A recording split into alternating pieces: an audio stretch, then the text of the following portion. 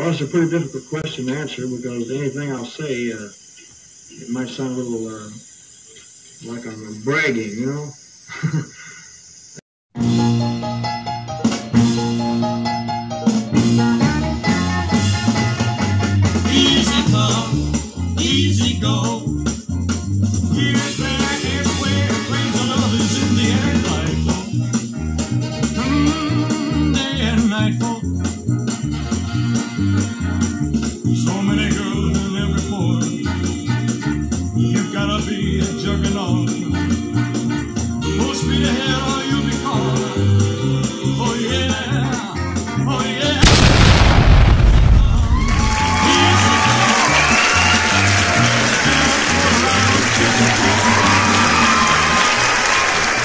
gang, welcome back to another Peyton Place.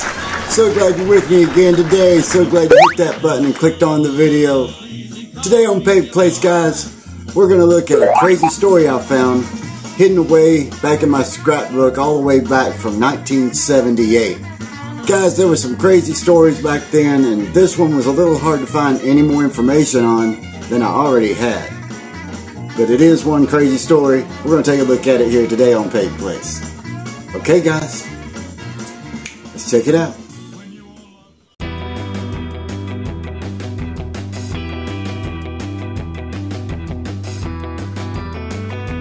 Okay, guys, the Convair 880 jet, a former Delta Airlines plane that Elvis purchased in 1975 and immediately christened after his daughter, the Lisa Marie. Elvis bought the plane for about $250,000 and spent another $600,000 refurbishing the plane and began using it in November of 1975. Elvis would often refer to this as his Flying Graceland, and he was especially excited about the fact that the same design team had previously customized Air Force One for the president. So, did you know that after Elvis died, the planes actually went on their own tour? Check this out. It was brought to my attention by this article I found in my scrapbook from March of 1978. The Lisa Marie was purchased by a Texas oil company marketing a new additive called Attitune. And get this, by the First Church of God, Benton, Illinois, for tax purposes.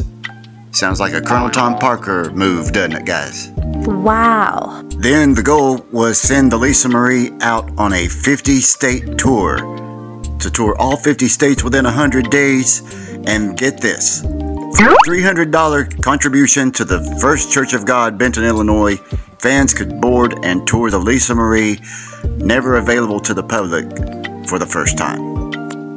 This will be a fun type thing, said Reverend J. Lloyd Tomer, pastor of the First Church of God, Benton, Illinois.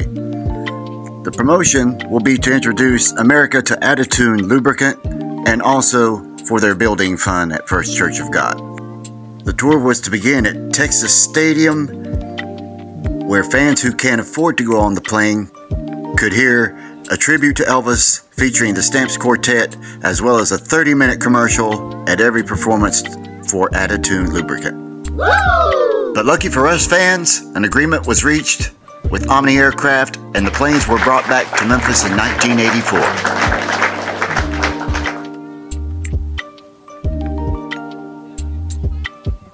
Move an airplane along a busy street very quickly. They waited and they waited for what one fan called history in the making. Today, Elvis Presley's plane, the Lisa Marie, returned home to Memphis. I'd like to see the plane that Elvis flew around for all those years and uh, just get a good look at a little bit of history, a little bit of nostalgia.